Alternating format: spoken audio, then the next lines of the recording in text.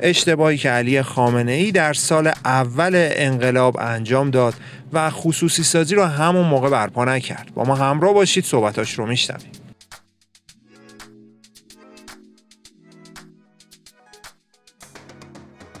سلام به همراهان همیشه کانال زرد تیوی علی خامنه ای روز دوشنبه در دیدار با کارآفرینان تولید کنندگان و مدیران شرکت های دانش بنیان از توسعه بنگاه های خصوصی حمایت کرد و گفتش اشتباه مهمی که در سالهای اول انقلاب اتفاق افتاد و آثارش همینطور مانده است این بود که بخش خصوصی رو تو اون سالها کنار زدیم و همه کارها رو حتی فروش مثلا اجناس خرد رو به مسئولین دولت و دستگاه های دولتی سپردیم.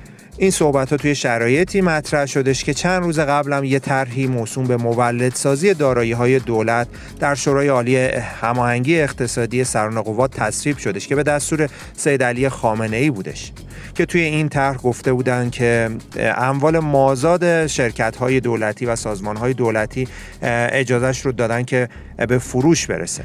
این صحبت ها و طرحهایی که توی هفته اخیر تصویب شده مورد انتقاد شدید اقتصاددان های معروف قرار گرفته. و خود این طرحها رو عاملی برای رانت و اختلاس می‌دونن.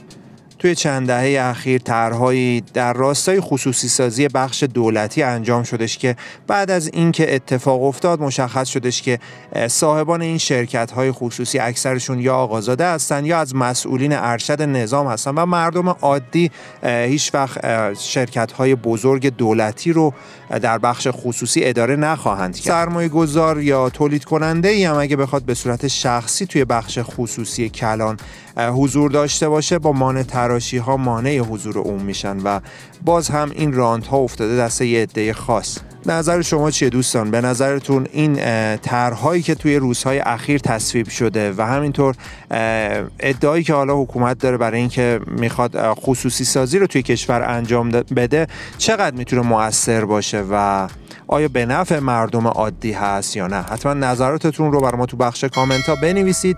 یک دنیا هم سپاس برای like این ویدیو و subscribe کانال. امیدوارم همیشه شاد و سلامت و پیروز باشید تا ویدیوی بعدی. خدا نگهدارتون. پیشنهاد می‌کنم در ادامه هم یکی از این ویدیوهایی که روی صفحه هست رو تماشا کنید.